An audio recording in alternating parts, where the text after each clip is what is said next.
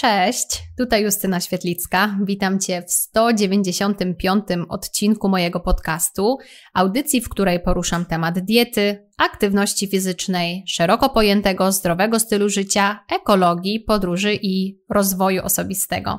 W dzisiejszym odcinku rozmawiam z dietetyczką Moniką Ciesielską, którą możecie znać z internetu jako doktor Lifestyle. I ten odcinek, przeciwieństwie do tego poprzedniego, będzie właśnie lifestyle'owy. Zapytałam Monikę, jak na przestrzeni lat zmieniło się jej podejście do zdrowego stylu życia. Poruszyłyśmy także temat obsesji piękna oraz tego, jaki mamy stosunek do naszej sylwetki. Pogadałyśmy także o oczekiwaniach wobec siebie, oczekiwaniach wobec życia i Monika powiedziała, jak radzi sobie w trudnych sytuacjach, w sytuacjach, na które nie mamy zbyt dużo wpływu.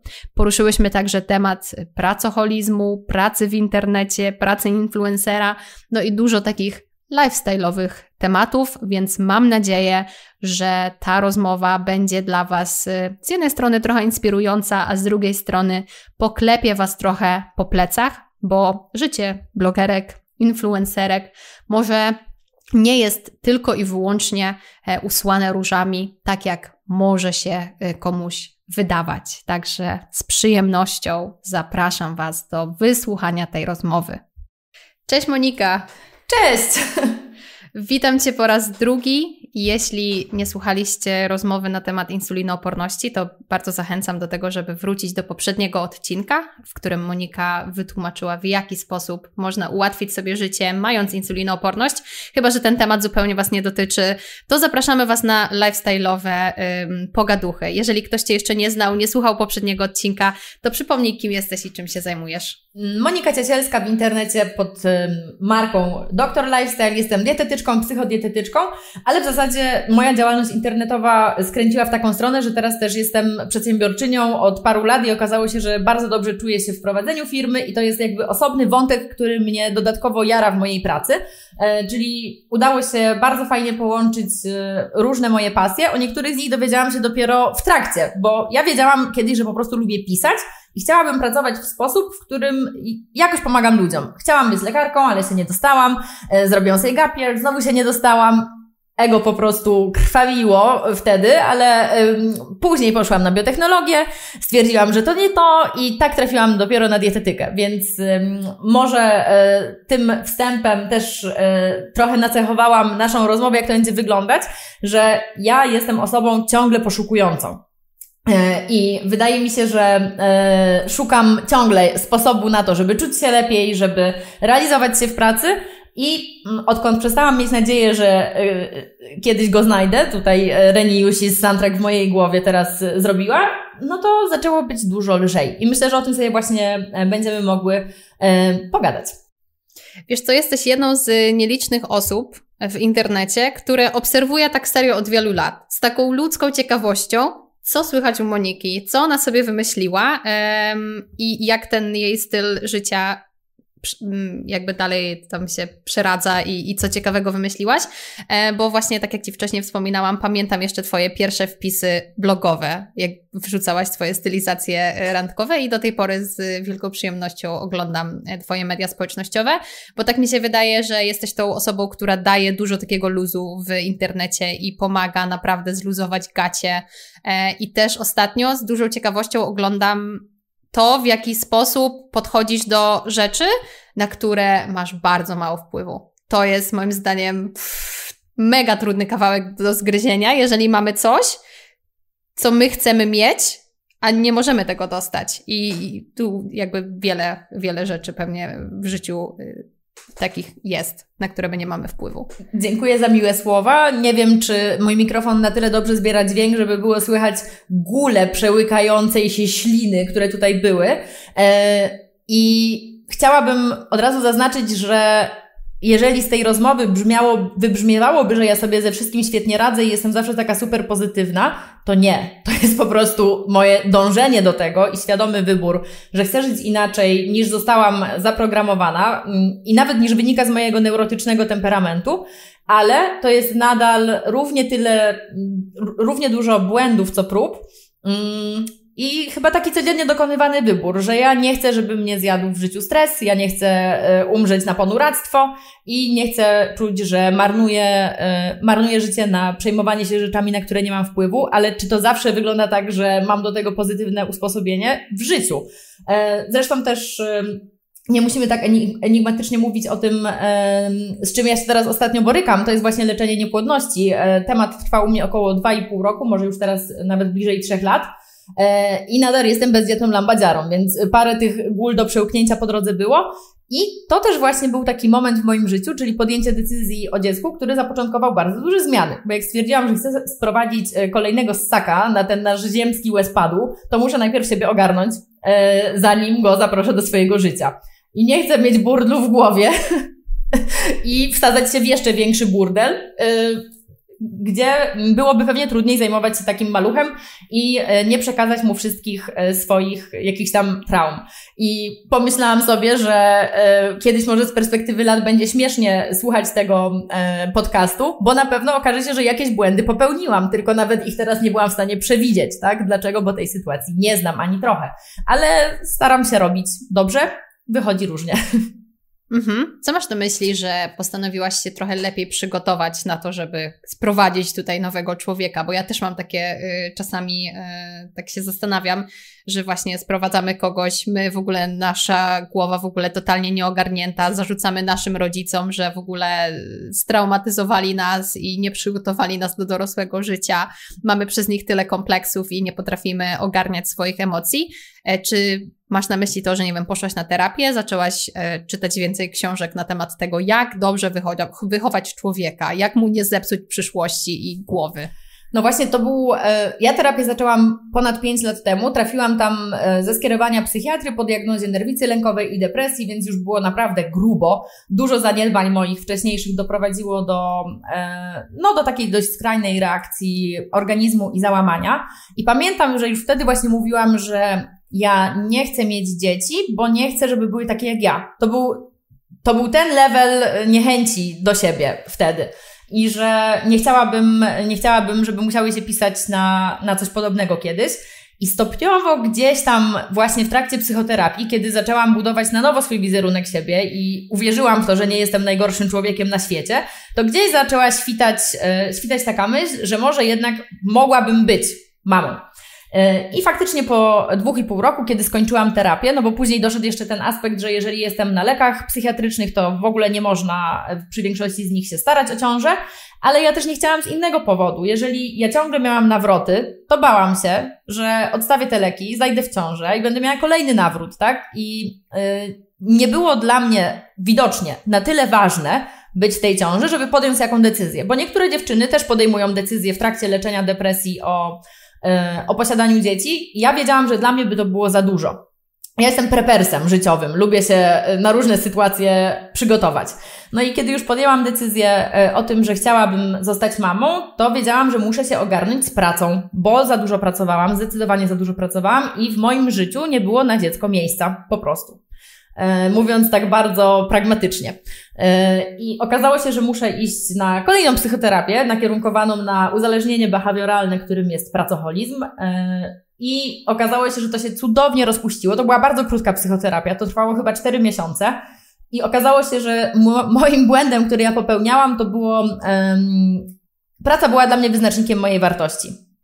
Kropka. Okej, okay. no i tu jesteśmy. I to jest właśnie ciekawy wątek. Pewnie o tym nie wiesz, ale też byłaś jedną z nielicznych osób w internecie, do których trochę się porównywałam i szczerze mówiąc miałam ból dupy. Miałam ból dupy, że tak dobrze ci idzie w pracy i że robisz zajebiste kampanie, sprzedajesz tyle produktów, a ja myślałam sobie, a ty co? Nie? A ja, ale ja przez większość czasu się opierdzielałam. I jakby to też był mój wybór. I ja starałam się, wiesz, stawiać na ziemię i przypominać sobie, stara, ty wybierasz pracować mniej i wybierasz robić mniej i nie chcesz siedzieć od rana do nocy w pracy. Ale jednak mimo wszystko mamy tendencję do tego, że, że się porównujemy i um, zaskoczyło mnie to wtedy, jak powiedziałaś gdzieś w internecie i to też właśnie mega cenię w tobie, że w ogóle nie mydlisz ludziom oczu, tylko mówisz, ej, za dużo pracowałam i, i to mi później też trochę tak zdjęło trochę takiej presji z siebie, bo pomyślałam, jednak, jednak dobrze, bo ja jestem jednak z tego, jestem trochę parę lat młodsza od ciebie, jestem z tego pokolenia prawie Z, które no tak nie do końca lubi pracować i woli, woli się, woli sobie um, odpoczywać. I, i rzeczywiście porównywałam się trochę i miałam taki ból istnienia, że tak świetnie ci idzie, ale ty też wkładałaś w to po prostu dużo czasu i dużo pracy po prostu. No to moja y, scena wyglądała tak, że są efekty, a zaplecze pokazuje, jaka była cena, tak? To były, y, te cekiny były okupione, nie chcę tutaj mówić, że krwią i łzami, bo pamiętajmy, że ja nadal byłam blogeriną z dużą możliwością elastyczności pracy, dużo podróżowałam, więc to też nie są takie skrajności, ale ja właśnie myślałam, że jeżeli ja czasami wyjeżdżam na wakacje, to to jest okej, okay, już, to już jest super urlop, ale jeżeli ja na tych wakacjach martwię się pracą, obsesyjnie sprawdzam, co się dzieje w mediach społecznościowych, e, wysyłam nadal newslettery, dodaję posty i tak dalej, to ja nadal jestem w pracy. To, że ja jestem poza miejscem mm -hmm. pracy, to tutaj nie, niewiele zmienia. I też okazało się, że Kluczowy, jak w większości właśnie uzależnień behawioralnych, jest nasz stosunek do pracy i co my sobie tą pracą załatwiamy. Jeżeli załatwiam sobie coś więcej niż pieniądze i spełnienie zawodowe, no to znaczy, że gdzieś popełniłam błąd y, w, swoim, mm, w swojej hierarchii życiowych priorytetów, ale ja naprawdę nie umiałam inaczej. Mi się wydawało, że ja po prostu jestem typem człowieka, który lubi pracować i mnie to nakręca i faktycznie tak jest. Ja bardzo szybko mm, przeskakuję z jednego projektu w drugi, lubię ten rytm, ale cena była taka, że jednak e, była duża dysproporcja pomiędzy odpoczynkiem a pracą w moim życiu. I właśnie mm, myśl o chęci posiadania dziecka y, skłoniła mnie do tego, żeby się tym zająć. No bo e, wiemy, jakie są realia prowadzenia działalności gospodarczej w Polsce, więc ja też nie liczę na to, że będę miała jakiś macierzyński. Zresztą na Instagramie nikt mnie nie zastąpi, e, ani o, ogólnie marki osobiste to jest cudowna i przeklęta działalność gospodarcza, bo jesteśmy wąskim gardłem. Niezależnie od tego, jaki mamy team i co oddelegujemy, wciąż zostaje bardzo dużo zadań, z którymi jesteśmy same i to musi zrobić nasza gęba i głowa. Tak. Koniec końców um, możesz zrobić świetny poradnik insulinoopornej, albo cały twój team może zrobić jeszcze lepszy poradnik niż ty byś sama zrobiła, ale no ty go musisz sprzedać. Tak. I, i nikt tego za ciebie nie zrobi. Jak to się w takim razie oddziela y, swoją wartość od pracy? Czy, czy to jest tak, że właśnie terapeuta ci mówi, słuchaj, no za bardzo tak podchodzisz do tego, że y, patrzysz na swoją pracę jako na swoją wartość i ty mówisz, aha, okej, okay, dobra, to już nie będę tak więcej robić. Jak działa taka terapia? Y, fajnie by było, tak samo jak z leczeniem insulinooporności octem jabłkowym, ale to tak nie działa. Y, chociaż u mnie i tak poszło gładko, bo okazało się, że to nie, ja sama w to nie wierzyłam, że, że ja jestem warta tyle, ile warta jest moja praca, ale to zostało mi wtłoczone właśnie pokoleniowo. Ja byłam w ogóle patologicznie dobrą uczennicą.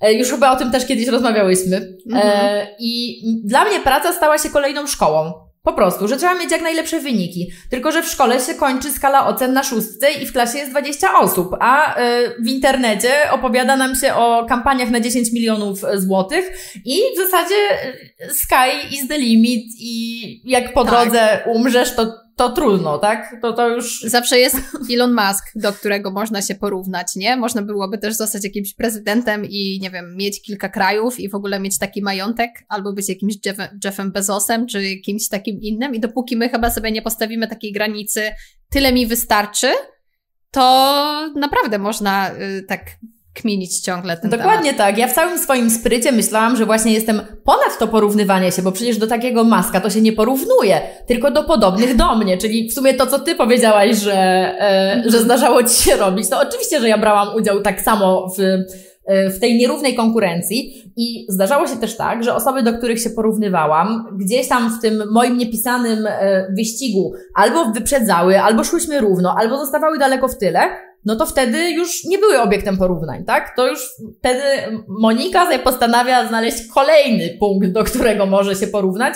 I plan był taki, chyba w mojej głowie, żeby zawsze gonić, tak? Bo przecież zawsze może być lepiej. Ja nie jestem perfekcjonistką, absolutnie nie. Na przykład ym, mogą być niedoróbki jakieś graficzne, literówki, takie coś to jest ok, ale na przykład jeżeli właśnie chodzi o to, czy te produkty, które tworzę są praktyczne dla ludzi, no to na tym punkcie mam pierdolca. I przy tym też można bardzo dużo y, czasu spędzić. Y, zresztą też układasz diety gotowe i wiesz, ile trzeba mm, włożyć pracy i serca, żeby te wszystkie produkty zużyć w całości, żeby to było mm, różnorodne, ale y, jednocześnie nieczasochłonne i tak dalej, i tak dalej.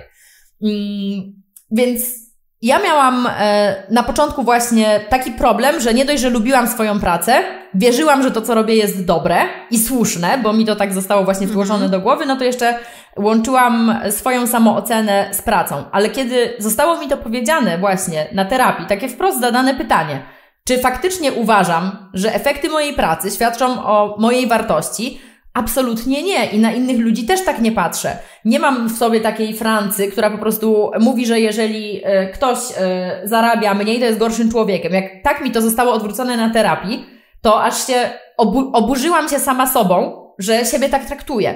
I pojawiła się taka trochę nowa intencja w moim podejściu, żeby nie akceptować siebie w rozumieniu, lubić siebie jak najbardziej i wspierać w każdej sytuacji, tylko do mnie bardziej przemawia bycie wobec siebie sprawiedliwą. Czyli mniej wymagania, ale takie jak wobec innych, tak? A wobec innych masz wymagania osadzone w miłości, a od siebie tylko wymagania, no to laska. Zawracamy z tej drogi. E, no i później e, ta praca z psychoterapeutką polegała na tym, żeby szukać innych, bardziej aktualnych teraz e, dla mnie rzeczy, które mogą składać się na moje poczucie własnej wartości. I okazało się, że te wyniki, te słupki, one, one tu się nijak nie przekładają. Ja mogłam mieć, mogę mieć świetną sprzedaż, ale na przykład bardziej satysfakcjonujące dla mnie były momenty, kiedy wiedziałam, że zrobiłam dobry produkt, kiedy dobrze coś napisałam, albo dołożyłam starań, żeby ktoś to dobrze sprawdził, zrobił to sensownie, tak? Więc bardziej zaczęłam niż przeć na efekt, to przeć na jakość rzeczy, które robię i to jest coś, co mi pomogło. Oczywiście to też z tego można zrobić kolejnego króliczka, bo przecież zawsze wszystko tak. może być jeszcze lepsze. Mm, ale to też gdzieś stopniowo się rozpłynęło. E, co mi tutaj pomaga, na przykład w naszym e, poletku zawodowym, ja bardzo dużo myślę o ludziach z mojego normalnego, prawdziwego życia, których znam. I myślę o tym, jak jedzą, i gdyby na przykład e, ktoś z moich znajomych zaczął jeść warzywo lub owoc do każdego posiłku, to ja bym z niego była na maksa dumna i mu gratulowała, że udało się od etapu jedzenia byle czego wprowadzić na przykład ten nawyk. Mhm. A w internecie tacy ludzie, którzy jedzą owoc i warzywo do posiłku, to jest w ogóle, ty nic nie wiesz o zdrowym życiu, tak? I tak. może, jeżeli ktoś ma aspirację żyć najzdrowiej jak się da, to wtedy tak powinno być. Ale jeżeli ktoś chce po prostu żyć troszkę zdrowiej, no to, no to już nie. I tak samo właśnie z tą moją pracą. Ja sobie nie zadawałam tego pytania, które ty sobie zadałaś, bo ty mówisz, że umiałaś się ugruntować na przykład, że ja chcę mhm. mniej pracować. Ja sobie tego nie umiałam powiedzieć. To, była, to był mój jedyny znany mi sposób funkcjonowania od siódmego roku życia. Że ja zawsze zapierdzielam na to, żeby mieć jak najlepsze efekty. A tu mi zdjęli limit. Limit efektów. Mhm. Tak, no tutaj naprawdę miliony stoją y, przed nami otworem, tylko trzeba nie wiem, albo do, dobrze marketingowo Pytanie, podejść. którym otworem do nas stoją, bo to później się okazuje, że były wypięte dupą po prostu i nawet jak już tam zajrzymy, to się okazuje, że dla nas nic tam ciekawego nie ma, tak? Bo jeżeli nie chcesz kupować sobie drogich torebek markowych, e, nie wiem, jakichś tam kosmetyków, albo w ogóle taki e, konsumpcyjny styl życia Cię nie, nie interesuje i nie potrzebujesz w swoim życiu, du życiu dużo rzeczy, to Ty nie potrzebujesz też aż tylu pieniędzy. I mm tylko właśnie, żeby. Ja bym mhm. przytuliła tak ze 2 miliony euro na przykład i kupiłabym sobie jakąś taką chatę zajebistą i bym trochę w niej mieszkała, a trochę bym ją na przykład y, wynajmowała, gdyby mnie tam nie było w trakcie y, podróżowania. Więc ja bym chętnie przytuliła, ale właśnie znowu mam tak, że czy ja jestem w stanie, tak samo jak z tą insulinoopornością, jak rozmawiałyśmy, czy ja jestem w stanie włożyć ten dodatkowy wysiłek i czas, żeby otrzymać te zajebiste efekty?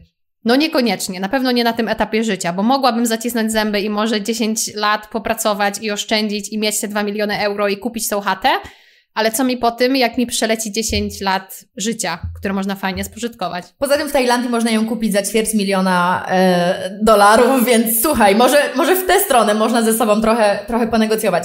Ja się z tym też bardzo zgadzam, e, co powiedziałaś, tylko właśnie, żeby umieć sobie, umieć sobie odpowiedzieć na pytanie, po co my to robimy? Dokąd biegniemy i kiedy powiedzieć sobie stop, a nie na przykład, że moim marzeniem było kupić sobie mieszkanie, moim marzeniem było mieć biuro. Zrobiłam to i to i już po prostu biegam jak taki. Yy, nie wiem, na, nawet nie wiem do czego to porównać, w takim chaosie, byle tylko było kolejne wyzwanie, tak? Kolejny, mm, kolejny cel do realizacji i robię się po drodze coraz bardziej zmęczona, wkurwiona, zaczynam czuć, że teksty, które piszę są kanciaste, patrzę na to i, i widzę, że to nie pisała ta ręka, która jest zadowolona i wypoczęta, tylko jakiś taki sztywniak ze mnie wychodzi, więc zaczynam myśleć o sobie gorsze rzeczy. E, wtedy spadają efekty, i jest jeszcze gorzej, bo wtedy spada moje, moje, moje, poczucie własnej wartości. I ja po prostu w pewnym momencie spojrzałam na swoje życie trochę z lotu ptaka i doszłam do wniosku, że ja się wykończę. I co najlepsze, wykończę się pracując jako blogerina, influencerka i prowadząc własną działalność. I znowu wracamy do tego e, tematu dziecka. Ja sobie pomyślałam, że jeżeli ono by się mnie kiedyś zapytało, po co ja to robiłam i na przykład, czy to było warte tego, żeby z nim nie spędzać czasu, to bym chyba sobie po prostu, gdybym się po fakcie zorientowała, że tak robiłam dalej mając dziecko, to bym zapluła sobie brodę po pępek i po, potknęła się na własnej ślinie i nie wiem, czy bym wstała, bo to jest głupie. Mhm. To nie było nawet moje, to nie były moje potrzeby, tak? A teraz na przykład wiem, co jest dla mnie w życiu ważne. E, I to są na przykład właśnie podróże, to jest to, żebym ja była wyspana, e, co nijak się nie wpisuje w pomysł posiadania dziecka, ale no, może później, może kiedyś. E, żebym miała czas na relacje, na spędzanie czasu z moimi bliskimi. Ogólnie ja się chcę tym życiem nażyć. I kiedy to sobie uzmysłowiłam, no to okazało się, że to nie jest warte takich efektów wkładanych w pracę, ale przyszedł moment weryfikacji. No bo kiedy zaczynam dawać siebie mniej, to zaczynam wyciągać mniej. I to był trudny dla mnie moment. Kiedy zaczęłam widzieć, że słupki spadają, sprzedaże są gorsze i e, no te wszystkie takie obiektywne, mierzalne parametry, co Control Freak, jak ja po prostu kocha, e, porównywać sobie, e, jak to wszystko idzie, zaczęło być gorzej. I to był dla mnie bardzo trudny moment. Moją pierwszą reakcją było ratuj się kto może, musimy przecież mieć ciągle... Wracamy do poprzedniej strategii, tak zajebiście szło, co, co ja narobiłam. tak. I to, co mi bardzo pomogło, to skupianie się na tym, co ja potrafię robić, a nie ile ja zarabiam. I kiedy myślę o tym, że w zasadzie gdyby ktoś mnie w szczerym polu, w gaciach, w obcym kraju wyrzucił, ja prawdopodobnie i tak bym sobie poradziła, to wiem, że to jest cenniejszy zasób niż duża kwota odłożona na koncie. Mm, I kiedy staram się uspokajać siebie, bo właśnie mój problem z pracą też był podszyty tym, że ja wiązałam pieniądze z poczuciem bezpieczeństwa. Ja sobie to po prostu przeformułowałam i uwierzyłam, że to, co ja potrafię, jest warte więcej, mm, jeżeli chodzi o zapewnianie sobie bezpieczeństwa, niż to, ile mam pieniędzy. Albo na przykład też to jest w ogóle bardzo luksusowa sytuacja, e, w której ja się znalazłam, bo rezygnacja z zarobków sprawiała, że ja nadal zarabiam satysfakcjonująco. Więc też wiem, że to, co mówię, to są trochę oderwane od rzeczywistości przykłady, ale moja rzeczywistość właśnie taka w tamtym momencie była ale doprowadziła na przykład do sytuacji, kiedy musiałam dokładać do, e, do działalności, bo e, po prostu na tyle spadały e, obroty, że były miesiące wakacyjne, kiedy jest generalnie posłucha na rynku dietetycznym, że do tego dokładałam. I panicznie mnie to stresowało i kosztowało mnie to bardzo dużo właśnie tłumaczenia, sobie, że to jest y, naturalna konsekwencja tej decyzji, że to jest nadal w porządku i po prostu ciągle ze sobą ta wielka dyskusja. Dużo ze sobą rozmawiam na różne tematy. Mhm. Jestem właśnie ciekawa, jak w takim razie planujesz swoją działalność, gdyby jednak to marzenie o dziecku się spełniło jednak udaje Wam się, zachodzisz w ciążę. E, czy masz plan na to, jak będzie wyglądała Twoja firma, ile chciałabyś na przykład e, zarabiać i czy właśnie przygotowujesz swoją firmę na moment, kiedy Ty nie będziesz miała na to zasobów i po prostu będziesz chciała spędzać czas z dzieckiem? Dokładnie tak. Pierwsza rzecz, jaką e, zrobiłam, to poważna rozmowa z moim mężem, czyli głównym zainteresowanym i jesteśmy podzieleni co najmniej na pół. Deklaruję, że może nawet więcej z jego strony niż na pół, ale też ja uważam, że my teraz sobie możemy gadać, a kiedy to dziecko się pojawi, to może mi odbiją hormony pozytywnie, może negatywnie i będziemy sobie musieli nawzajem ratować dupę. Więc po prostu chodziło mi o to, czy on jest świadom i pewien tego, że jest gotów wpisać się na dziecko w systemie pół na pół, a nie w systemie mama opiekuje się dzieckiem, a tata utrzymuje rodzinę, bo to u nas tak w ogóle nie działa. E, Łukasz pracuje mm -hmm. w mojej firmie, więc y, można powiedzieć, że mamy to, odwróconą, stereotypową sytuację. Więc najpierw dogadaliśmy się między sobą, czy to nam na pewno pasuje. A jeżeli chodzi o firmę, to to też właśnie cudownie ta decyzja o dziecku sprawiła, że ja zaczęłam delegować zadania. No bo stwierdziłam, że muszę to zrobić. Ja w ogóle myślałam, że ja zajdę w ciążę szybko, więc to też um, okazało się, że mam teraz fajnie rozkręconą firmę dzięki tej niepłodności. e, więc zaczęłam zlecać więcej na B2B. z czasem zaczęłam też zatrudniać osoby na stałe. Mam aktualnie y, zatrudnione, y, ze mną i z Łukaszem pracują trzy dziewczyny. Jedna obsługuje klientki y, w różnych naszych mediach społecznościowych i mailowo, a z dwiema pracuję nad dietami z marketów. I szczerze mówiąc, ja nie wiem, jak ja to robiłam e, w pojedynkę. To było trochę niższej jakości. Ja nie, nie potrafiłam być aż tak szczegółowa, jak kiedy, teraz, kiedy mamy kilka tam double checków i tak dalej, więc pierwsze edycje były dużo mniej do, e, dopracowane niż teraz. Ale ogólnie, jak myślę, ile to było diet do ułożenia, to sobie współczuję. I już nigdy nie chciałabym wrócić na tą drogę, nawet za cenę dużo, dużo niższych zarobków. Więc zatrudniłam dodatkowe osoby, zaczęłam zlecać więcej, mm, więcej innym osobom i też właśnie zaakceptowałam to, że te efekty będą gorsze. Dla mnie to chyba było naprawdę najważniejsze. Mm, bo ja mam tak, że jeżeli widzę problem, to szukam rozwiązania. Natychmiast. A teraz, kiedy widzę problem, to się zastanawiam, czy to jest faktycznie mój problem. Czy może po prostu yy, gadam jakimiś swoimi nieaktualnymi przekonaniami. E, zmieniło się też na pewno mm, to, jak podchodzę do e, częstotliwości publikacji. Publikuję rzadziej. E, przestałam tak regularnie dodawać wpisy na bloga i oczywiście, że na początku miałam moralniaka. Było mi w ogóle przykro, że tak to wszystko skręciło, ale przegadałam to sobie ze sobą i wtedy byłam studentką. Miałam stypendia i miałam zupełnie inne, inne potrzeby. I to naturalne, że mogłam wtedy skupiać się tylko na blogu. Zresztą, kiedy zaczynałyśmy blogować, to był blog i Facebook. Później doszło do tego Instagram, grupy na Facebooku, newslettery, e, podcasty, YouTube. No można po prostu się tak yy, zapracować. tak. Wariować. yy, I tak naprawdę ja też chyba długo miałam e, takie zdanie o swojej pracy, że to nie jest nic super ważnego. Właśnie wiesz, trochę przyjęłam to, co ludzie mówili o influencerkach. E, drugi od polityka, najgorszy, najmniej szanowany zawód na świecie. A dopiero z czasem spojrzałam na to, dziewczyno, ty po prostu prowadzisz firmę i działasz w internecie, tak? Więc e, to, że przy okazji masz jakieś tam zasięgi, to jest coś, co na pewno ułatwia prowadzenie firmy, ale nie, nie rozwiązuje tych wszystkich problemów, z którymi to się wiąże. Czyli podsumowując, delegowanie zadań, zatrudnienie innych osób, zerwanie z nadmiernymi oczekiwaniami mm, i stawianie sobie też takich sztywnych ram. Ja na początku musiałam dosłownie sobie ustawiać na przykład budzik o 16 i że wychodzę do, do pracy. Albo z moją właśnie koleżanką z pracy zrobiłyśmy tak, że bezpośrednio po pracy w poniedziałki i środy razem chodzimy na jogę. Ja bym odpuściła jogę przez pracę, ale jeżeli wiem, że się umówiłam z Anią, to nie chcę ciągnąć jej w dół, więc idę z nią na jogę. Mhm. Od razu po pracy. A i później się okazywało, że to wszystko da się zrobić w krótszym czasie, tylko ja też miałam chyba, bardzo pielęgnowałam sobie ten etos bycia zapracowaną. Więc robiłam dużo rzeczy, których nie musiałam robić po to, żeby być zapracowaną.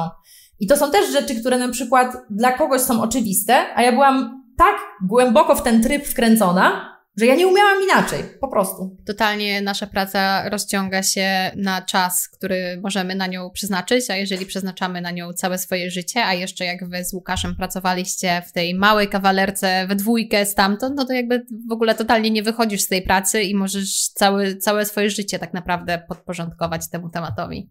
Ja myślę, że też e, w tej rozmowie zabrakło podkreślenia tego, co ma ogromne znaczenie. Ja miałam na każdym etapie ogrom wsparcia ja mam bardzo wspierającą rodzinę, wspierających przyjaciół, męża. Ogólnie czasami mam wrażenie, że wiele sukcesów, które osiągnęłam, było zasilane ich energią, nie moją. I kiedy ja na przykład płaczę im, gdzie się wciska przycisk od dorosłości, ja już nie mogę, to ja nie wiem, gdzie to zrobić, ale oni wiedzą, bo wtedy przychodzi na przykład właśnie taka Ania z drożdżówkami, albo Żaneta z winem, albo idziemy na imprezę, albo na nurkowanie, albo po prostu dzwonię do mamy i się jej żalę i stwierdzam, w sumie to nie jest aż takie fatalne, jak w mojej głowie było, zanim to wypowiedziałam na głos. Więc mam ogromny, ogromny system wsparcia w tym wszystkim. W zasadzie u mnie jest dużo paradoksów, bo e, z jednej strony spotyka mnie dużo trudnych rzeczy, jak na przykład ta e, właśnie, no dość, dość ciężka wówczas e, depresja, niepłodność, jakieś takie problemy rodzinne, a z drugiej strony właśnie mam ponadprzeciętne wsparcie i też taką um, skłonność chyba do podejmowania pracy na, na rzecz poprawy swojej sytuacji i jakoś to się kręci. Mhm. Wspomniałaś na samym początku, jak jeszcze mówiłaś o tej depresji i stanach lękowych, że trochę to było na Twoje własne życzenie, bo zaniedbywałaś swój styl życia. I co masz na myśli, mówiąc zaniedbywać swój styl życia? Masz też na myśli zdrowy styl życia? Bo ja też bardzo mało wiem o depresji, bardzo mało wiem o zaburzeniach psychicznych, ale nagrywałam też ostatnio odcinek, podcastu z psychiatrą i szczerze mówiąc, zdziwiło mnie to, że nasz styl życia ma bardzo dużo wspólnego z zaburzeniami psychicznymi. Jak ty to widzisz i czy właśnie twój styl życia trochę się do tego przyczyniał, czy, czy, czy to nie jest aż tak do końca powiązane? Na 100% się do tego przyczyniał. Mi się wydaje, że inaczej. Depresja też wynika z chemii naszego mózgu i my możemy mieć skłonności do depresji większe niż inni przez geny. To wszystko też ma tutaj znaczenie. Czasami nawet zaburzenia hormonalne mogą do tego doprowadzić. Ale jeżeli my non-stop zaciągamy u siebie dług, i nie dajemy sobie odpowiedniego paliwa pod postacią jedzenia, nie zabieramy sobie sen. Ogólnie no, traktujemy nasze ciała jak um, niezniszczalne, to to również osłabia naszą odporność psychiczną. Albo ja też na przykład um, byłam bardzo daleko od siebie, bo jeżeli Twoim celem, e, moim celem było pracowanie najlepiej jak się da, a nie czucie najlepiej jak się da, no to jeżeli jestem zmęczona, to i tak pracuję. Jestem niewyspana, to i tak pracuję. Nie wyrobiłam się z pracą, ja nie piszę do klienta, ja to wyślę Ci później, tylko ja wstaję o czwartej, żeby wysłać to o ósmej dnia, którego był deadline. Więc ja byłam po prostu na, no nie, może, na, może nie na ostatnim, ale na pewno nie na pierwszym miejscu dla siebie. I kiedy tresujemy siebie w takim wykonywaniu swoich poleceń, nieważne jak się czujemy, to z czasem się od siebie oddalamy. I w końcu byłam tak daleko od siebie, że już nawet nie wiedziałam, jak się czuję. Ja nie wiedziałam, co mi sprawia przyjemność, ja nie wiedziałam, jak odpocząć, ja nie wiedziałam, czy ja jestem smutna, czy to jest ok, czy nie ok, czy to już jest moja norma. Po prostu y, to doprowadziło z czasem do mojego wypalenia życiowego, gdzie ja już w, w ogóle przy sobie nie byłam. To no, strasznie, strasznie smutno. Jak teraz o tym myślę, to jest mi się bardzo szkoda. A wtedy co ja czułam? Że czułam się winna i że nie dałam rady. Masakra. Masakra. Masakra. Jak ty się w ogóle zorientowałaś, że okej, okay, dobra, to chyba może jakaś depresja? Czy to nie byłaś ty, która się zorientowała? To był mój mąż. E, jeszcze wtedy, jeszcze wtedy nie mąż. E, on powiedział, że wydaje mu się, że to, co się dzieje, to, to jest już nie okej, okay, e, że zachowuje się zupełnie inaczej. I to była taka konkretna sytuacja, kiedy y, pamiętam, że właśnie siedziałam przed komputerem, próbowałam coś napisać, nie umiałam i, i zasmarkana, uryczana siedzę, nie? I to była jedna z kilku takich scen, e, scen ostatnio. To po prostu były takie łzy bezsilności, ale mi się po prostu wydawało, że mam gorszy czas albo no, mam ostatnio więcej pracy. A on mówi, ale kiedy ostatnio? Hmm. No i co, mam powiedzieć, od 20 lat? Bez przesady, no, że tak już zapierdzielałam jako dziecko, ale mm, no byłam osobą, która była mocno w trybie e, na, nastawienia na efekty, a nie na dbania o swoje potrzeby. Te moje potrzeby w ogóle były, to dla mnie nie było kryterium, czaisz to? Masakra. Myślę, że um, trochę, wiesz, te, te, kilka lat, które nas y, różni, jednak sprawia, że um, nie wiem, tak mi się wydaje, że te osoby młodsze trochę bardziej teraz dbają o siebie, trochę bardziej myślą o tym, chociaż na bank znajdziemy wyjątki wśród osób kilka lat starszych i, i wśród jakby osób w, w moim wieku, um, że, że są osoby, które jakby bardziej teraz o siebie dbają, um, a jednak e, wcześniej było tak, że totalnie zostawiasz siebie na ostatnim miejscu, liczy się tylko i wyłącznie, nie wiem, właśnie praca, a ty to w ogóle Twoje samopoczucie nie ma żadnego znaczenia. Właśnie sobie uświadomiłam, że mało brakowało, a zostałabym tą typową matką lat 90., która jest po prostu tak zmęczona i tak niewyrobiona ze wszystkim, że e, drze papę na wszystkich domowników i, i tak dalej.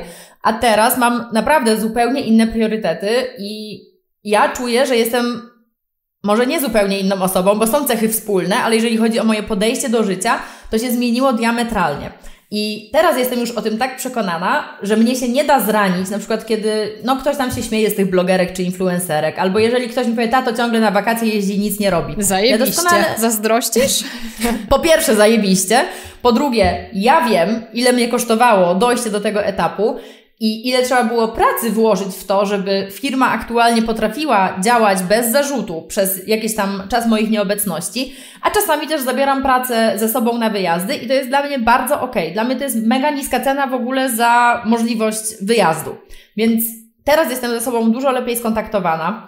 Ja oprócz psychoterapii przeszłam um, kursy mindfulness, MBSR, um, MBCT, takie oparte na współczuciu, dwie ośmio, ośmiotygodniówki. Była ta terapia pracoholizmu.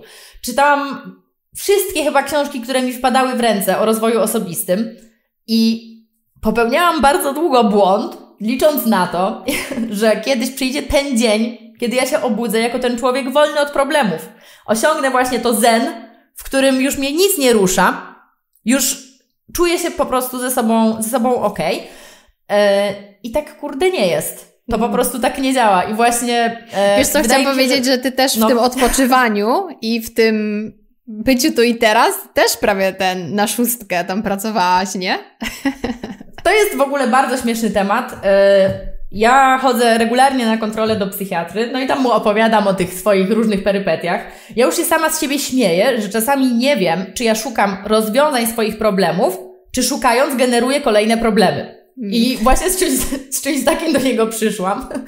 E, tylko teraz właśnie, no, to nie, to nie jest w żaden sposób zaburzenie, tak? E, ja teraz nie jestem tym przytłoczona, tylko raczej wydaje mi się, że rozwój osobisty stał się czymś na kształt jakiegoś hobby. Jestem ciekawa, co tam jeszcze gdzieś pode mną siedzi i o czym czego o sobie nie wiem. No i e, stwierdził e, lekarz, że czas na diagnostykę w kierunku ADHD e, okay. dorosłych. I mam, mam przed sobą właśnie diagnozę, to trwa trzy godziny, zobaczymy, co tam wyjdzie w tych, w tych testach. I czasami tak sobie myślę, że jestem nieźle potłuczona w środku, nadal. Że to jest taka jak ta sztuka kintsugi, posklejane złotem, ale dalej to jest dużo, dużo do nadrobienia. Ale coraz częściej myślę o tym, że no jakby nie było, to się składa mm, w całości na mnie jako człowieka. I widocznie bez tych cech, niektórych, nie miałabym tego, co mam. I tak, to będzie ten banalny moment, w którym zamierzam powiedzieć, że wszystko dzieje się po coś, ale ja, ja kiedyś w to nie wierzyłam. Rozumiesz to? Mi się mhm. wydawało, że ja naprawdę jakimś Bogiem chyba jestem i mam wpływ na wszystko i wszystko ode mnie zależy. To też była jedna rzecz, którą usłyszałam od psychoterapeutki. Ona mnie po prostu sparafrazowała i pyta, czyli uważa pani, że jest, że jest pani Bogiem, tak? I wtedy wiesz, w ogóle nie, bo to też jest, to może tego nie słychać w naszej rozmowie, ale te wszystkie działania były podszyte na maksa kompleksami, bardzo złym zdaniem e, na temat efektów mojej pracy. E, ja miałam totalny syndrom oszusta i zresztą ja uważam, że nadal to nie jest tak, że ja super z niego wybrnęłam. Na przykład ta redakcja merytoryczna e, Damiana Parola nad e, niezbędnikiem insulinoopornej. Ja to zrobiłam między innymi po to, żeby mi się lepiej sprzedawało. Bo ja wiem, że jeżeli dostanę podkładkę od mojego autorytetu, to bardziej zaufam niż tylko e, sobie. Mhm. I to jest rzecz, nad którą uważam, że trzeba pracować, ale też szkoda byłoby czekać, aż przepracuję to mając 60 lat i ominie mnie dużo rzeczy pomiędzy, skoro można to załatwić w inny sposób. Ale to jest ekstra. I ja też ostatnio zapisałam się na terapię, trochę też z ciekawości, bo mówię, no wszyscy o tym gadają, no jakby już każdy to poleca i mówię, też koniecznie muszę pójść i, i to jest ciekawe, jak dowiadujesz się o sobie jakichś rzeczy, które jakby totalnie wydawały ci się taką trochę częścią ciebie, jak ty też y, nie widziałaś tego, że y, łączysz trochę pracę z poczuciem własnej wartości i masz takie zdziwienie, ej, ale jak to w ogóle? Przecież ja, ja myślałam, że jest zupełnie inaczej. Jestem też ciekawa w sumie, jak zmieniło się Twoje podejście do zdrowego stylu życia, bo wcześniej było trochę tak, że to Raffaello tak bardzo y, fajnie się jadło do, do ostatniego kawałka ym, i, i było takie zero-jedynkowe podejście. Czy w którym momencie nauczyłaś się żyć zdrowiej? E, w jaki sposób to w ogóle zrobiłaś? Bo Obie mamy za sobą zero-jedynkowe podejście, taką średnią pewnie relację z jedzeniem i średnią relację ze sobą i ze swoim ciałem. Jestem na diecie, a później y, z tej diety przechodzę. Czy to w momencie, jak już zaczęłaś studia, czy to już przed tymi studiami potrafiłaś ogarniać zdrowsze życie? To było na pewno po studiach i chyba przełomowym momentem było zrzucenie stronu ludzi, którzy uważają, że dietetyczka powinna żyć jakoś. Bo znowu zobacz, to się klei z tą moją pracą. Jeżeli ja chciałam być jak najlepsza w swojej pracy, to trafiały do mnie te wszystkie argumenty, że to jak dietetyczka wygląda, to powinno świadczyć o jej um, kompetencjach. E, popełniałam ten błąd niestety, uwierzyłam tym ludziom. I kiedy dotarło do mnie, że to znowu jest ich prawda, a nie moja, to mam to w dupie. Bo jeżeli mi zależy na tym, żeby mieć dobre wyniki, które kontroluję regularnie, co rok, nawet czasami częściej, żeby mieć siłę żyć tak, jak lubię, żeby mieć kondycję, żeby mnie nie łupało w plecach i żebym e, czuła się coraz lepiej w swoim ciele. To jest w ogóle uważam niesamowite, że jestem po 30 i mogę powiedzieć, że z każdym rokiem czuję się coraz lepiej w swoim ciele. To jest jakiś taki luksus. Fenomen. Tak, rzadko się o tym słyszy. I to jest coś, na czym mi zależy. A mi nie zależy na tym, żeby mieć możliwie najniższą masę ciała, jaką się da, albo odsłonięty kaloryfer. I mnie to kompletnie nie rusza w tym momencie. Ale dlaczego? No, bo ktoś nie jest w stanie mnie zranić czymś, co mnie szczerze nie boli, tak, w sercu. A jeżeli ja próbowałam tak wyglądać, a tak nie wyglądałam, no to rodzi się konflikt, tak? I, i wtedy ciężko, wtedy każda taka krytyczna uwaga trafia prosto w serduszko, tak? Zamiast do kosza mhm. na śmieci to co wyrzuciłaś w takim razie do kosza na śmieci, jeśli chodzi o dietę i aktywność fizyczną, a co sobie zostawiłaś, żeby właśnie mieć te efekty, o które ci chodzi i czy to nie jest tak, że paradoksalnie, bo wiadomo, też odwołam się za chwilę do tej obsesji piękna, że wyglądasz teraz lepiej niż wcześniej? Tak jest. Co odrzuciłam? Na pewno optymalizację treningów. Ja nie lubię żadnych schematów. Denerwuję się, jak muszę coś zrobić w konkretnych godzinach. E, nie lubię za dużo planować, wolę, wolę podchodzić spontanicznie do codziennych różnych wyborów, e, więc odrzuciłam plany treningowe. A co zrobiłam? Minimalna dawka ruchu na dany dzień czy tam tydzień. Na początku to było powiedzmy kilka razy w tygodniu, teraz jestem na tym etapie, kiedy dla mnie wyzwaniem jest codzienny ruch, i ja jestem w stanie to wyzwanie podjąć, więc codzienna dawka ruchu. Ale na przykład ja wiem, że nie robi mi różnicy, czy zrobię jogę, trening na rowerku, spacer czy siłownię, bo ja sobie mogę wybrać ze wszystkiego, więc odrzuciłam sztywne ramy, a dałam sobie więcej wyboru. Jeżeli chodzi o diety, to u mnie już od dłuższego czasu było, było bardzo ok, ale to, co mnie naprawdę mega uspokaja, to mm, czytanie właśnie w badaniach naukowych e, albo u osób, które zrobiły jakieś opracowania na ich podstawie, że my mamy bardzo duży wybór i że jest mnóstwo modeli żywieniowych, takich e, no różnych diet, ale tak naprawdę stosując bardzo, bardzo różne diety wciąż możemy mieć dobre efekty i często te efekty zależą, wynikają z tego, czego my nie robimy, a nie z tego, jak jemy. O co mi chodzi? No bo jeżeli weźmiemy osobę, która bardzo fajnie podąża i bilansuje na przykład keto i śródziemnomorską, to są bardzo różne, różne diety, ale co łączy tych ludzi? Oni nie wpieprzają słodyczy kompulsywnie, e, oni nie jedzą bardzo dużo fast foodów, oni nie siedzą na tyłku przez cały dzień.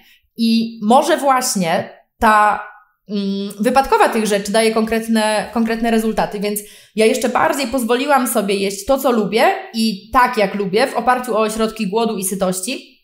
E, I to zadziałało na mnie po prostu fantastycznie, bo ja nawet jeżeli y, zjem coś totalnie z dupy niezdrowego, to później wracam sobie do swoich założeń.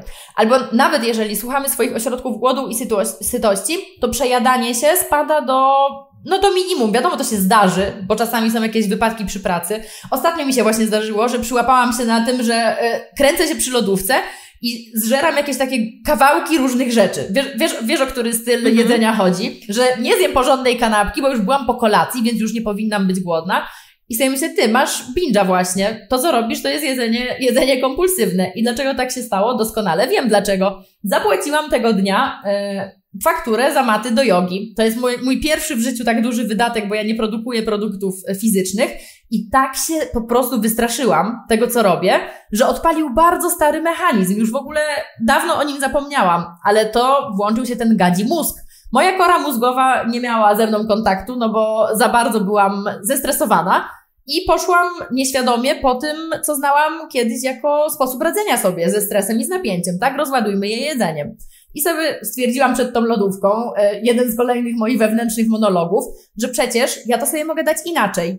Wsta, wstać się pod koc, zrób sobie miłe kakałko, posłudzie cukrem, zrób sobie jakąś mhm. naprawdę dużą przyjemność i spokojnie, spokojnie. Tak. I właśnie ten spokój to jest coś, co mi, um, co mi bardzo pomaga i tak jak powiedziałaś, efekty są znacznie lepsze niż kiedykolwiek, bo ja też pamiętam, że ja kiedyś sprawdzałam na przykład, co zrobić, żeby mieć brzuch jak ktoś. Albo nawet często to widzę w QA na przykład. Co ćwiczysz na brzuch, co ćwiczysz na nogi. Nic takiego nie robię. po prostu fakt, że jestem aktywna od pięciu czy tam sześciu lat, sprawia, że to się tak, tak się przełożyło na moją sylwetkę, ale ja nie robię nawet w jodze ćwiczeń na jakieś e, konkretne mhm. asany. Po prostu to robię i to się wydarza. Tak, y, totalnie się z tym zgadzam i myślę, że to zero-jedynkowe podejście i odpuszczanie po jakimś czasie, bo dajemy sobie po prostu zbyt duże jakieś wymagania i próbujemy się podporządkować właśnie do czyjejś diety, do czyjegoś rygoru y, treningowego, sprawia, że odpuszczamy na jakiś czas i w sumie koniec końców może i jest w sumie ta sama masa ciała, może trochę bardziej nawet do przodu i te kilogramy przybywają, pomimo tego, że my no raz w miesiącu jesteśmy na jakiejś diecie, ale jakby no efektów totalnie nie widać, no bo to jest przerywane tymi jakby y, momentami, kiedy no ta dieta jest o wiele gorsza, ruchu nie ma, plus totalnie nasze jakieś takie poczucie sprawczości w życiu spada, że no kurde, my się tak staramy, bo rzeczywiście się staramy i podejmujemy kolejne próby, no tylko one totalnie legną w gruzach za chwilę, bo to jest niedopasowane do nas. Tak, trzeba po prostu spróbować wpuścić trochę więcej luzu i zobaczyć, co się stanie później. I też um, dobrze jest odpowiedzieć sobie na pytanie, po co mi jest ten zdrowy styl życia? Bo teraz mówi się tak dużo o nim, że każdemu się wydaje, że no, teoretycznie warto byłoby to robić, ale my zapominamy, że zdrowie nie jest wartością wszystkich ludzi. My możemy mieć bardzo różne, różne wartości i niektórzy są na takim etapie życia, kiedy totalnie ten konstrukt zdrowia do nich nie przemawia. I to nie jest e, dobry argument, żeby coś robić dla zdrowia, bo dla nich to nie jest wystarczająco dużo warte, ale może na przykład jest dla nich warta ta lepsza kondycja, albo to, że można podejmować bardziej spontaniczne aktywności. Dla mnie to jest turbo ważne, żeby moje ciało nie ograniczało nic w moim życiu. Czyli na przykład, jeżeli ktoś mi powie z dnia na dzień, czy chce iść na kajaki, to ja chcę móc iść na kajaki, a nie się bać, że nie dam rady fizycznie. Że plecy strzelą. Na przykład. Tak, i właśnie y, też się z tym zgadzam i zastanawiam się, gdzie w tym całym równaniu jest sylwetka i ciało i jakby obraz tego ciała, który mamy. Bo ja sama się zastanawiam, w sumie, no, jakby dla mnie zdrowie jest bardzo wysoko, gdzieś tam w moich wartościach, ale mimo wszystko mój wygląd i wygląd sylwetki też, no fajnie, że jakby, nie wiem, mogę pójść do sklepu i kupić jakiekolwiek ubranie, bo raczej będzie pasowało, nie? Że jakby nie mam na przykład nadwagi i estetycznie to jest nadal dla mnie ważne. I się zastanawiam, czy to jest ok i czy właśnie um, to nie jest tak, że ta obsesja piękna totalnie nami owładnęła i my to jednak niby robimy dla zdrowia, ale koniec końców dla sylwetki. No to właśnie z tym, z tym tematem e, wizerunku naszego, naszego ciała i z ciało pozytywnością też się według mnie wiąże ciekawy, e, ciekawy aspekt, który może po latach wypłynie, że niektórzy z tego też zrobili obsesję że my teraz musimy być aż tak ciało pozytywne, że przyznanie się na przykład, że bardziej podoba mi się moja twarz w makijażu, to jest już przejaw nieakceptowania siebie bez makijażu.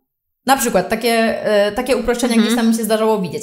A są dziewczyny, dla których makijaż jest formą artystycznego wyrazu i one kochają się tym bawić i dla nich to jest jakiś sposób medytacji albo mindfulness, albo nawet podobają się sobie bardziej bez makijażu. I czy to znaczy, że one są głupsze, czy to nie jest kolejny przejaw e, jakiejś dyskryminacji i zakładania, że kobieta sama nie wie, co jest dla niej dobre i co jest dla niej ok, no to też mnie wkurza na maksa. Bo myślę, że w równouprawnieniu chodzi o to, żeby kobiety mogły same o sobie decydować też, e, a nie, że inne kobiety mają powiedzieć, co jest ok, a jeżeli już robisz coś nie w trendzie, który jest uważam słuszny, ciało pozytywności, to znaczy, że ty nie akceptujesz siebie taką, jaką jesteś. No totalnie nie. Ja na przykład mam tak, że uświadamiam sobie w trakcie tej rozmowy, że mam bardzo dużo paradoksów w życiu. Mi totalnie nie przeszkadza wyjść w dresie i to nie w jakimś takim, wiesz, dresie na kant, tym najładniejszym, tylko tak jak stoję w lekko przetłuszczonych włosach na miasto, wejść do restauracji bez makijażu i tam sobie zjeść i nic mi to nie robi. A na przykład dzisiaj miałam ochotę założyć spódniczkę, obcasy, pomalować się, po nic. Nie wychodzę, nikt mnie nie widzi. Y, Mhm. Nie wiem. Ja stałam... tylko, ale... Tak, no tak, ale tutaj nasi słuchacze, nasi słuchacze nas nie oglądają, więc ym, czy to znaczy, że jestem jakąś inną osobą w tych dwóch wydaniach? No nie, to jestem ja w innym powierzchownym jakimś tam e, wystroju, powiedzmy. Mhm. I jeżeli chodzi o kwestię sylwetki i ciała, ja się sobie bardziej podobam w szczuplejszej wersji. Ja miałam, mam porównanie, ważyłam już kiedyś tam 75 e, kg z hakiem i podobam się sobie bardziej. Czy to sprawiło mój gust A, a na ile to sprawiła obsesja piękna, ja tego nie wiem. Tego się nie da policzyć, tego się nie da zmierzyć.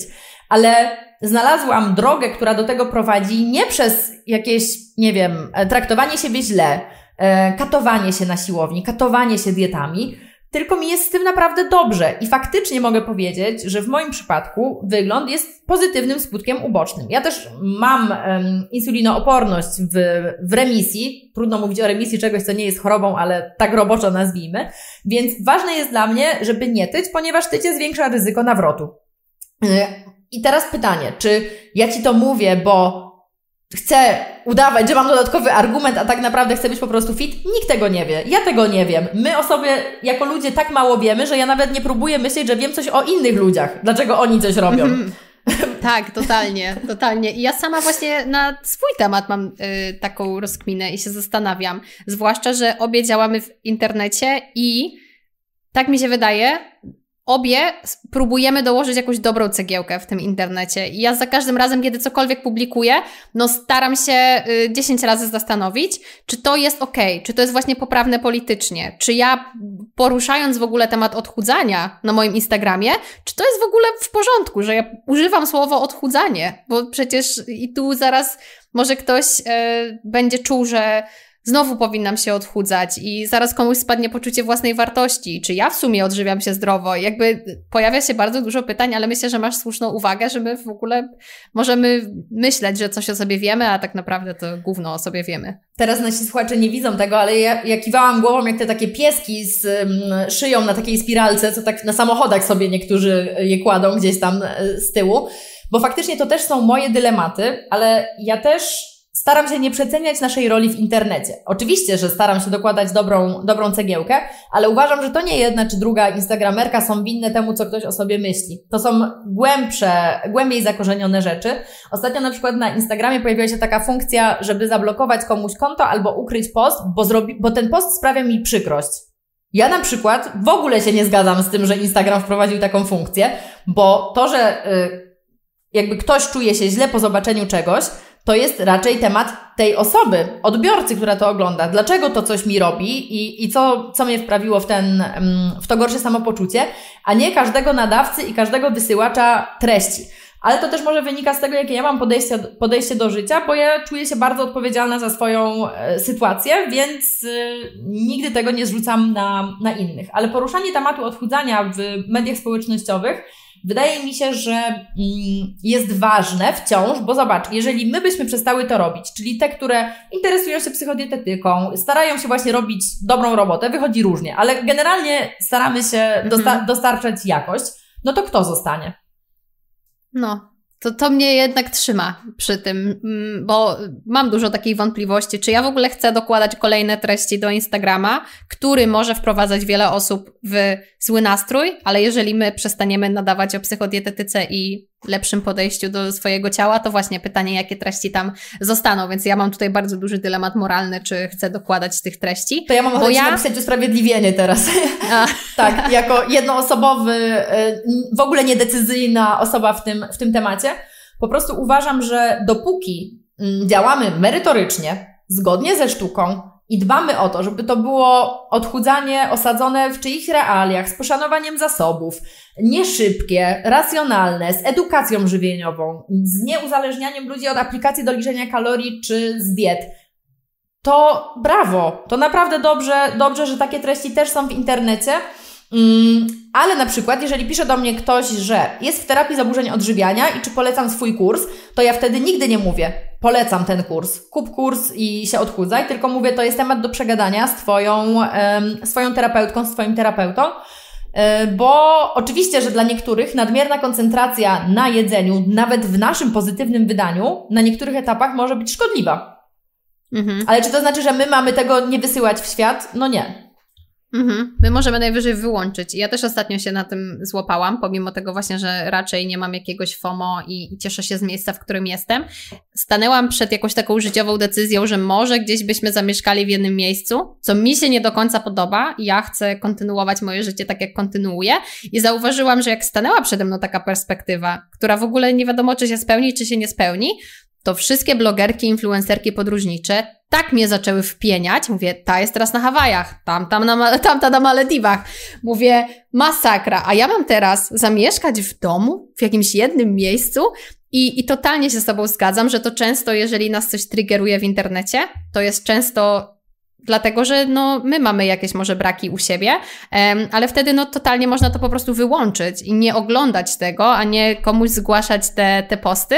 I zastanawiam się w sumie, jak Ty teraz osobiście korzystasz z mediów społecznościowych. Czy Ty tylko produkujesz treści, czy zdarza Ci się coś oglądać? 95% to jest produkcja, 5% to jest konsumpcja. Na mnie Instagram działał fatalnie bo ja sobie znajdowałam ciągle kolejne obiekty porównań e, i Szczególnie, że był taki moment, e, kiedy bardzo dużo się mówiło o wynikach kampanii. Ja nigdy nie zakładałam, że ktoś może kłamać. Ja nigdy nie myślałam, ile, ile coś kogoś kosztuje, do czego może doprowadzić um, taka, taka sytuacja ciągłego pchania do przodu i parcia. I zobacz, ja to mówię, mimo że byłam tą osobą, która poniosła naprawdę wysoką cenę za to. Po prostu tak działa nasz mózg, tak, że, e, że lubimy się porównywać.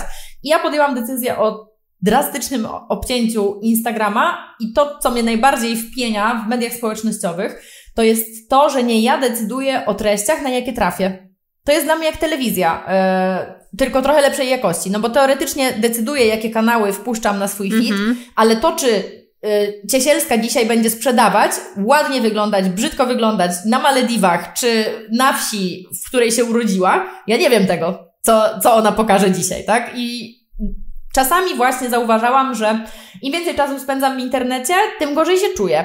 E, I też bardzo dużym moim wyzwaniem w życiu codziennym jest mm, radzenie sobie z przebodźcowaniem e, bo mnie bardzo wszystko łatwo interesuje, a jeżeli tak jest, no to ciężko jest się skupić na jednym dużym zadaniu naraz.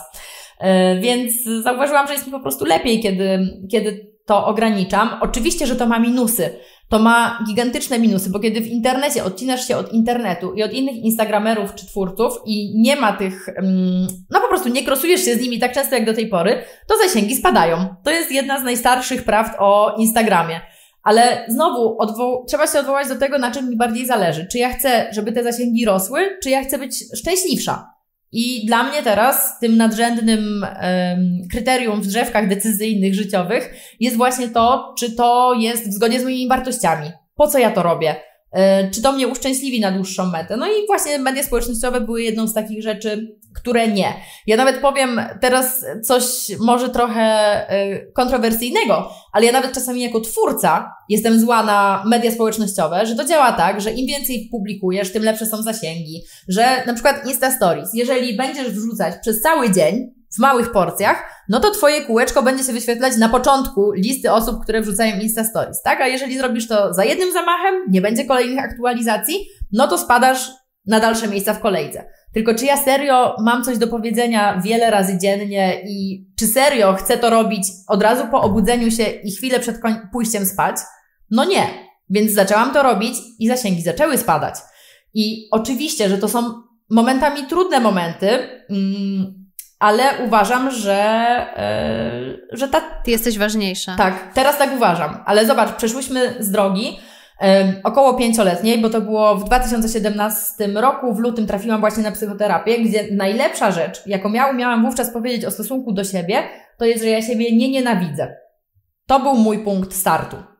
A teraz dochodzimy do momentu, kiedy z uśmiechem na ustach mówię, bo ja jestem ważniejsza, tak, niż te inne rzeczy. I nie, I nie będę właśnie skakać jak małpka w cyrku, yy, tylko i wyłącznie dlatego, że Instagram mi tak każe. Bo znowu, też mam te same przemyślenia, że chętnie bym tam robiła rzeczy, ale czasami też się czuję jak taka małpka w cyrku, że okej, okay, jeżeli Instagram tak zagra, to ja tak zaśpiewam, bo jednak trzeba się dopasować.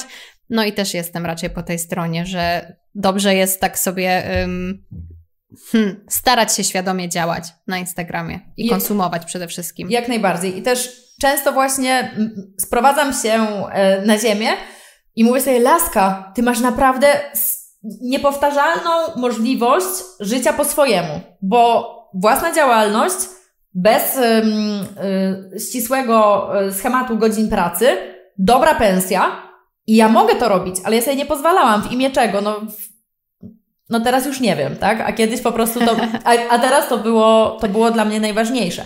I to też był taki kolejny moment, jeden z przełomowych. Ja zawsze utrzymywałam, że dla mnie najważniejsze są relacje, ale moje wybory pokazywały co innego.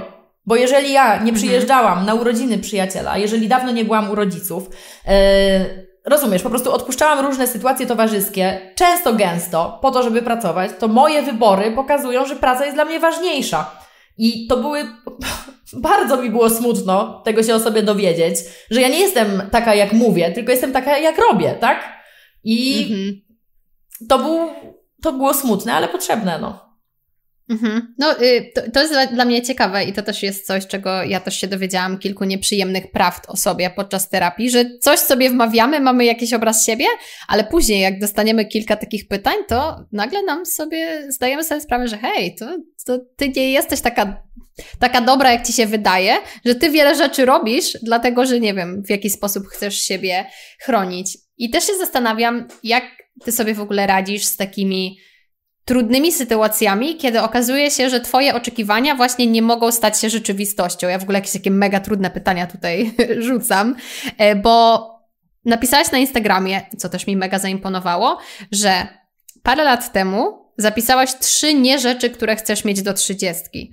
Doktorat, dziecko i jakąś określoną kwotę pieniędzy. Pomyślałam sobie, wow, że w ogóle piszesz to. Jakby dla mnie akurat twoje konto działa bardzo pozytywnie na jakby na mój mózg, poza tym, kiedy nurkujesz na Malediwach, bo ja też bym chciała się tam znaleźć, ale tak bardziej z radością. Cieszę się, że ty możesz tam być i możesz pływać z tymi rekinami. Ja też tam kiedyś pojadę e, i też to kiedyś zrobię i dzięki tobie wiem, że fajne e, rybki tam można pooglądać. I właśnie zastanawiałam się, jak ty z tym dealujesz, że zdajesz sobie sprawę, hej, chciałam zrobić ten doktorat, ale no nie wiem, nie, nie wiem w sumie, jakie były tam decyzje e, po drodze, bo jeśli chodzi o dziecko, no to masz wpływ na to, jakie teraz decyzje podejmujesz, jaki prowadzisz styl życia i że podjęłaś się leczenia, ale no z doktoratem w sumie mogłabyś to zrobić, nie? Ale jak podjęłaś tę decyzję, że okej, okay, może moje ego nie będzie tutaj zbyt szczęśliwe, ale no nie robię tego, bo mam ważniejsze rzeczy. Ja się wycofałam po około 100 stronach może już napisanych. Co? Nawet. Tak. Ty e, pisałaś już ten doktorat? Tak, ja już nawet miałam zrobione badania, e, dość duże opracowania statystyczne, także ja już tam jedną nogą, dużym palcem u stopy smyrałam, ale z czasem cena stawała się zbyt wysoka, bo nakład czasu jest naprawdę bardzo, bardzo duży, a ja czułam, że to nie jest dla mnie sytuacja rozwijająca zawodowo.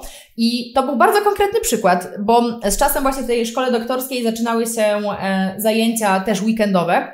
A w tym samym czasie dostałam informację o kursie, na który bardzo chciałam się zapisać. To był kurs terapii skoncentrowanej na rozwiązaniach, o takim podejściu, pozytywna psychologia, zakładająca, że każdy człowiek jest ekspertem do swojego życia, a specjalista ma mu tylko troszeczkę pomóc wiedzą merytoryczną nakierować się na różne decyzje.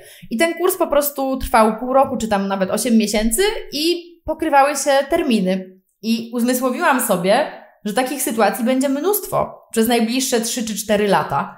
I to nie będą tylko e, inne kursy, bo to nie jest tak, że jestem taka super szlachetna, że robię tylko najbardziej efektywne rzeczy, ale to będą stracone weekendy, te, które chciałabym spędzić z przyjaciółmi na odpoczynku, na podróżach. I stwierdziłam, że właśnie po co mi jest ten doktorat? No bo tak zawsze chciałam go mieć, tak? Bo to dobrze brzmi, mieć mm. doktorat przed nazwiskiem. E, ale Lepiej by się produkty sprzedawały, nie? Wreszcie nie zapracowałabym na swoją nazwę marki, którą w ogóle wymyśliliśmy przypadkiem jakoś ze znajomymi, nie wiem, między zajęciami na studiach. E, także miałam tą, tą chęć i, i to znowu było coś podobnego jak e, moja chęć zarabiania pieniędzy i dobrego radzenia sobie w pracy, bo to było zewnętrzne potwierdzenie mojej wartości. Po prostu.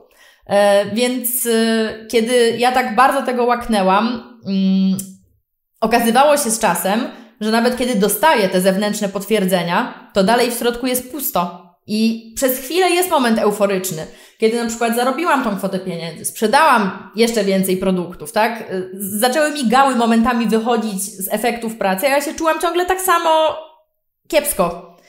I naprawdę z czasem, z czasem się zorientowałam, że po prostu nie tędy droga. No nie ma, nie ma bata. Ja próbowałam dojść do spokoju i spełnienia drogą, która nie miała szans mnie tam zaprowadzić. Ale tak myślałam, bo mi się wydawało, że to wszystko rozwiąże. Mhm. Co w takim razie? To myślę, że to już będzie takie y, pytanie, które zamknie i podsumuje tę naszą rozmowę. Co w takim razie sprawia, że ty czujesz się szczęśliwa, spełniona i czy czujesz właśnie, że jesteś na tej drodze do spokoju ducha i spełnienia? Ja jestem na drodze do, ale ja nie wiem, czy jest jakikolwiek punkt mety. Coraz, coraz częściej wydaje mi się, że go nie ma. I że chyba właśnie chodzi o to, żeby być mm, uważnym na swoje potrzeby, dawać sobie prawo do zmieniania zdania, reagować tak, e, jak życie, co życie przynosi, to na to odpowiadać, zerwać z próbą wymyślenia sobie scenariusza na całe życie. To jest w ogóle bzdura. Ja, i to jest jedna z zajebistych rzeczy wynikających z prowadzenia bloga. Ja tam sobie kiedyś zapisałam taki, taki post, to jest takie w ogóle urocze, taka buta młodej osoby z niego wybrzmiewa, że ja nie będę taka śmaka i owaka, że ja nie chcę mieszkać w kawalerce i tak dalej. I przeczytałam sobie ten post i się strasznie zryczałam, bo zobaczyłam, że ja żyję swoim wymarzonym życiem. Lepiej, mm. to było lepiej, dużo lepiej niż w tym poście, a ja ciągle gonię. I to mi po prostu pokazało, że jeżeli ja tego nie skończę, to to się nie skończy. Totalnie się z Tobą zgadzam. Wspaniała jest ta rozmowa. Bardzo się cieszę, że mogłaś mi opowiedzieć o tym, jak wyglądała stara Monika i jaką przemianę i drogę przeszłaś. Ale jeszcze wiesz, o ilu złych rzeczach nie powiedziałam. Boże, to naprawdę możemy, mogłybyśmy rozmawiać bardzo długo, bo to wszystko, te moje decyzje prowadziły też do tego, że byłam nerwusem, ja byłam cholerykiem. Ze mną się ciężko spędzało czas. Ja byłam bardzo wymagająca wobec innych, um, impulsywna. No naprawdę momentami niełatwo było ludziom, którzy musieli ze mną żyć, tak? I ja tego po prostu nie widziałam. Bo mi się tak bardzo moim nadrzędnym celem była ta praca i te efekty, że cała reszta miała mniejsze znaczenie. I no jest mi strasznie przykro, że, że, że takie coś miało miejsce w moim życiu, ale z drugiej strony niektórzy ym, przechodzą przez całe życie i, orientu i orientują się, jak już jest za późno. A ja to zrobiłam jeszcze y, przed 30, więc uważam, że i tak ten bilans jest, jest naprawdę ok. I tak sobie pomyślałam, że może y, mam nadzieję, że naszą kolejną rozmową będzie oczekiwania versus rzeczywistość, czyli jak to już będzie po narodzinach dziecka z prowadzeniem firmy. E, wiesz co, to ja bardzo chętnie o tym porozmawiam, bo póki co, jak myślę sobie o macierzyństwie i byciu mamą i w ogóle. A, w ogóle mi się to nie mieści w głowie. W ogóle się tam nie widzę. Zupełnie się tam nie widzę. I jestem ciekawa, czy mi się to zmieni, bo mój partner chciałby mieć kiedyś dzieci. Ja nie. Weszliśmy w ten związek wiedząc, że ja nie chcę mieć dzieci, a on chce mieć dzieci. W tej chwili myślę sobie, ok, może kiedyś mi się zmieni, e, może za trzy lata, ale jakby jesteśmy w tym, wiedząc, że tutaj mamy bardzo dużą różnicę i to nie jest, czy zamieszkamy w Poznaniu, czy w Lublinie, tylko to jest bardzo duża różnica, jeżeli chodzi o jakieś tam potrzeby i jakąś wizję e, życiową. I, I, jestem naprawdę bardzo ciekawa. Ja y, ogólnie, jak ktoś y, zaczyna przekształcać swój Instagram prywatny czy tam firmowy w parentingowy, często ta osoba dostaje unfollow, bo nie chce mi się oglądać czyjegoś dziecka, i, ale tutaj jestem bardzo ciekawa y, Twojej drogi y, jako mamy slash przedsiębiorczyni slash zen, która jest w drodze. Tak, jestem, jestem na maksa ciekawa, jak to będzie wyglądało. No i życzę Ci w ogóle z całego serca, żeby Wasze starania zakończyły się sukcesem. Bardzo dziękuję, niezależnie co będzie, to będzie się z tym trzeba zmierzyć i, i może właśnie to jest ta puenta, bo jeżeli Ty nie postawisz kropki, to ja mogę gadać i gadać i gadać. Mam nadzieję, że w tym słowotoku e, znaleźliście jakąś tam część dla siebie i jeżeli na koniec mogłabym dać jakąś radę, to żeby po prostu nigdy nie przestawać próbować się o siebie starać. Bo naprawdę, kiedy to się zaczyna dziać i kiedy my zaczynamy mieć do siebie lepsze podejście, to inne rzeczy się zaczynają układać. Mhm. Bardzo mi się podoba to podsumowanie. I nie mogę się doczekać, aż porozmawiamy o macierzyństwie i prowadzeniu własnej firmy. I powiesz mi, że to jest wspaniałe i w ogóle emocje związane z prowadzeniem firmy i y, nurkowanie w ogóle nawet się nie umywają do emocji, które zapewnia dziecko. I że nic się nie zmieniło. I że, i że to i wybuch miłości od początku, i że teraz jest najlepiej na świecie. Nie, nie żyjemy na Instagramie. Ale to ciąg dalszy nastąpi. Super. Dziękuję Ci bardzo, Monika, i do usłyszenia w takim razie. Dziękuję bardzo za rozmowę. Było mi przemiło.